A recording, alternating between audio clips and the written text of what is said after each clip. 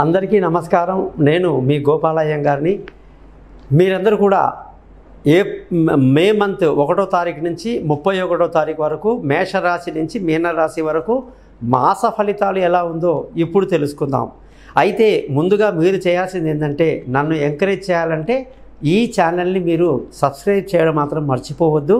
పైన ఇచ్చిన నెంబర్లో మీ జాతకాలు తెలుసుకోవడానికి నన్ను కాంటాక్ట్ చేయండి. మీ జాతకాలు బ్రహ్మాండంగా చెప్తాను ఒకటే ఒక మాట చెప్తాను. ఒక్క జాతకం మీరు చెప్పించుకుంటే కనీసం పది మందితో మీరు నా గురించి చెప్పి నన్ను ప్రోత్సహిస్తారని నాకు తెలుసు. కాబట్టి మీరందరూ కూడా మీ date of birth time of birth place of birth పై నెంబర్లో పంపించండి. మీతో నేను మాట్లాడతాను. అలాగే ఎవరికైతే డేట్ ఆఫ్ బర్త్ లేదో వాళ్ళు ముఖం కనిచేటు ఒక ఫోటో అలాగే మగవాళ్ళు రైట్ హ్యాండ్ రేఖలు ఆడవాళ్ళు లెఫ్ట్ హ్యాండ్ రేఖలు పంపించండి. తప్పకుండా మీ జాతకాలు చెప్పి తగిన పరిహారాలు కూడా తెలియజేస్తాను. ఇక గ్రహాల స్థితి కానీ ఈ స- మాసంలో చూసుకుంటే మనకి మేషరాశిలో వచ్చేసి రాహు పూర్తిగా ఈ మాసమంతా. గురువు మొన్నే వచ్చారు. మేషరాశిలో ఈ మే మొత్తం మేషంలో గురువు సంచారము మేషరాశిలో ఉంటుంది. అలాగే బుధుని యొక్క సంచారం కూడా మేషరాశిలోనే ఉంది. సూర్యుడి సంచారము పదిహేనవ తారీఖు వరకు మేమ మేషంలో తర్వాత వృషభ రాశిలో కంటిన్యూ అవుతుందన్నమాట. శుక్రుడు మనకి మాసమంతా కూడా వృషభ రాశిలోనే ఉంటున్నారు. మధ్యలో కొంత వక్రం జరుగుతుంది కానీ వృషభంలోనే కంటిన్యూ అవ్వడం అనేది జరుగుతుంది. కుజుడు మాత్రం పన్నెండవ తారీఖు మే నెల మిథున రాశిలో నుంచి కర్కాటక రాశిలోకి ప్రవేశిస్తున్నాడు. మీకు తెలుసు కుజుడికి కర్కాటక రాశి అంటే నీచ స్థానం అని తెలుసు. అలాగే ఈ కేతు యొక్క సంచారము తులారాశిలో శని సంచారము కుంభరాశిలో జరుగుతుంది. దీన్ని బట్టి పన్నెండు రాశులకు మాస ఫలితాలు ఎలా ఉందో తెలుసుకుందాం.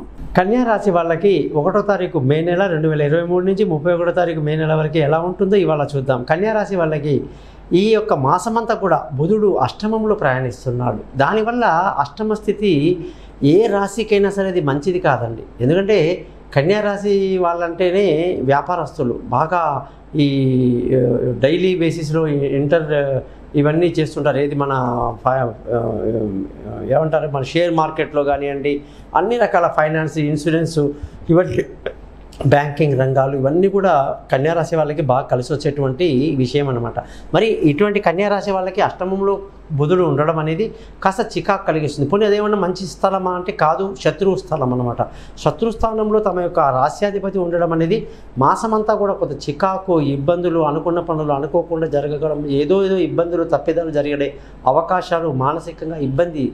మరి ఇందులో నుంచి బయటపడాలంటే ఏం చేయాలి అంటే రోజు విష్ణు సహస్రనామం చదివి బయటికి వెళ్ళండి. బుధమంత్రాన్ని పదిహేడు సార్లు చదివి బయటికి వెళ్ళండి అష్టమ బుధుడు ఈ మాసమంతా మిమ్మల్ని తప్పకుండా కాపాడుతాడు. ధనస్థానం చూసుకుంటే ఎటువంటి ఇబ్బంది లేదండి. డబ్బు టైంకి వస్తుంది కుటుంబంలో సంతోషం ఉంటుంది పిల్లల చదువు బాగుంటుంది. ఎటు పోయి మనకు అనవసరంగా మన ఆలోచనల వల్ల మనము లేనిపోనివన్నీ కల్పించుకోవడం వల్ల మైండ్ కాస్త డిస్టర్బ్ అవుతున్నారు అది కాకుండానే కాస్త జాగ్రత్త పడడం మంచిదని చెప్పడం జరిగింది. బంధువుల స్నేహితుల సహాయ సహకారాలు కానీ చూసుకుంటే పెద్దగా లభించదు. మనం మానసిక ధైర్యాన్ని కనుక్కొని మంచిగా ముందుకు వెళ్ళడం మంచిది. విలువైన వస్తువులు భూములు వాహనాలు ఇవన్నీ కూడానండి. ఈ కన్యారాశి వాళ్ళకి ఎంత ఇబ్బంది కలిగిస్తుందంటే అష్టమంలో గురువు అష్టమంలో బుధుడు అష్టమంలో సూర్యుడు అష్టమంలో రాహు. మరి ఏంటంటే నాలుగు గ్రహాలు? ఖచ్చితంగా అండి మంచిది కాదనమాట. అంటే ఒక శత్రువుని ఎదుర్కోవటం మనకి ఇబ్బంది. సరే ఎదుర్కొందామనేసరికి ఇంకొకరు వచ్చి వాడి జత అయ్యాడు. వాడికి ఇంకొకటి జత అయ్యాడు. వాడి తర్వాత ఇంకోటి జత అయ్యాడు. నలుగురు కూర్చున్నారు ఇప్పుడు అక్కడ. ధైర్యం చేసేసరికి పాపం కన్యారాశి వాళ్ళకి లేనిపోని టెన్షన్స్ ఇబ్బందులు అందులో వాళ్ళ జాతకంలో కానీ దశ అంతర్దశ బాగాలేకపోతే ఇంకా ప్రమాదం అన్నమాట. కాబట్టి ఎప్పుడు చక్కటి మౌనంగా ధ్యానం చేసుకోవటం తక్కువ మాట్లాడటం విష్ణు సహస్రనామాన్ని బాగా పఠించడం వల్ల ఖచ్చితంగా ఈ యొక్క నాలుగు గ్రహాల ప్రభావం ఏదైతే ఉందో మీ మీద తొలగిపోతుంది. ఆ పదహారవ తారీఖు నాడు సూర్యుడు బయటకు వచ్చేస్తున్నాడు. సూర్యుడు వృషభ రాశిలోకి వచ్చేయటం వల్ల భాగ్యస్థానంలోకి రావటం వల్ల పర్వాలేదు కొంతవరకు నయం. అలాగే విలువైన వస్తువులు భూములు వాహనాలు ఏదైనా సరే కొనడానికి అష్టమంలో గురువు ఉండడంలో ఎలా సాధ్యమవుతుంది? కాబట్టి వాటిని పోస్ట్పోన్ చేసుకోవడం కన్యారాశి వాళ్ళకి ఎంతైనా మంచిది.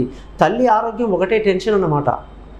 అలాగే విలువ సంతానం విషయంలో చూసుకుంటే సంతానం చదువులు వాళ్ళ యొక్క డెవలప్మెంట్ వాళ్ళు బయటికి వెళ్ళాలనుకుంటారు విదేశాల్లో చదువుకోవాలనుకుంటారు దూర ప్రయాణాలు చేస్తారు ఏదేదో ఆలోచనలు చేస్తుంటారు. ఇవి కలిసి రావట్లా.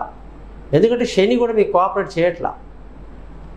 ఆరోగ్యం మాత్రం మా అద్భుతం అనమాట అదేదో చెప్పినట్టు సామెత ఏదేమైనా సరే ఆరోగ్యం బాగుంటే ఏమైనా చేయొచ్చు అంటారట. కాబట్టి దేవుడు అక్కడ మీకు సహాయం చేశాడు కన్యారాశి వాళ్ళకి. మంచి ఆరోగ్యం మంచి శత్రువులు లేకపోవటం. అది బ్రహ్మాండంగా ఉంది. సప్తమాధిపతి ఏం చేశాడంటే గురువు కాస్త ఎన్ని రోజులు అన్ని రకాలుగా సహాయం చేశాడు. పెళ్ళి కుదరటం కానీ భార్యాభర్తల మంచి సంబంధం కానీ ఇప్పుడు అష్టమంలోకి వచ్చి పడ్డాడు. వన్ ఇయర్ ఇందులోనే ఉంటాడు. కాబట్టి ఈ పెళ్ళిళ్ళు అవి కాస్త పోస్ట్పోన్ అవ్వడం కాస్త ఇబ్బంది కలిగే అవకాశాలు అవన్నీ జరుగుతాయి. కుదిరినవన్నీ కూడా. అవన్నిటికీ కూడా మనము గురు మంత్రం చదువుకోవడం చాలా మంచిది.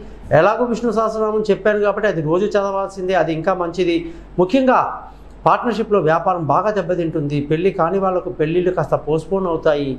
ఇవన్నీ ఆ- జాగ్రత్తగా ఆలోచించుకొని ముందుకెళ్ళాలి. అలాగే అదృష్టంగానే చూసుకుంటే కన్యారాశి వాళ్ళకి అదృష్టానికి మాత్రం ఏమాత్రం తక్కువ లేదు. భగవంతుడు చల్లగా చూశాడు. గ్రహం బాగుంది. తండ్రి సహకారం బాగుంటుంది. న్యాయం ధర్మం దాన్ని తప్పకుండా పాటిస్తూ మీరు ముందుకెళ్తుంటారని కూడా మనం చెప్పొచ్చు. అలాగే ఉద్యోగం చేసే వాళ్ళందరి పరిస్థితి కానీ చూసుకుంటే అనేక సమస్యలు ఎంత కష్టపడ్డా పై వాళ్ళ నుంచి ఎటువంటి సపోర్టు లేకపోవటం. అలాగే నిరాశకు గురయ్యే అవకాశాలు ఉంటాయి. ఇంటర్వ్యూలు చాలా జాగ్రత్తగా అటెండ్ చేయాల్సి ఉంటుంది. కాబట్టి మనం ఈ మంత్ని కొంచెం అవాయిడ్ చేసుకుంటే ముఖ్యమైన కార్యాలకి మంచిది అని చెప్పొచ్చు. ఉద్యోగంలో కూడా జాగ్రత్తగా ఉన్న ఉద్యోగాన్ని చేసుకోవడమే కన్యారాశి వాళ్ళకి మంచిది. ఇప్పుడు ప్రయోగాలు పనికిరావు. వ్యాపారం చేసే వాళ్ళకి ఈ మాసం అంతా కూడా చాలా బాగుంది. వ్యాపారంలో మంచి డెవలప్మెంట్ మంచి గ్రోత్ అన్నీ బాగా కనిపిస్తున్నాయి. కాబట్టి ఖర్చుల విషయంలో వచ్చేసరికి విపరీతంగా ఖర్చులు ఉండే అవకాశం మాత్రం కన్యారాశి వాళ్ళకు ఉంది.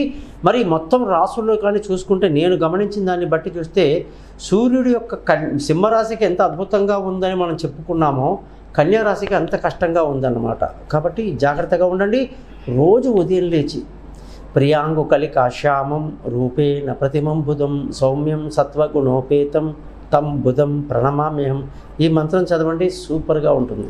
జ్యోతిషపరంగా ఎటువంటి సందేహాలు ఉన్నా కూడా మీరు నన్ను కాంటాక్ట్ చేస్తారని ఆశిస్తూ మీ నుంచి సెలవు తీసుకుంటున్నాను మీ గోపాలయ్యంగా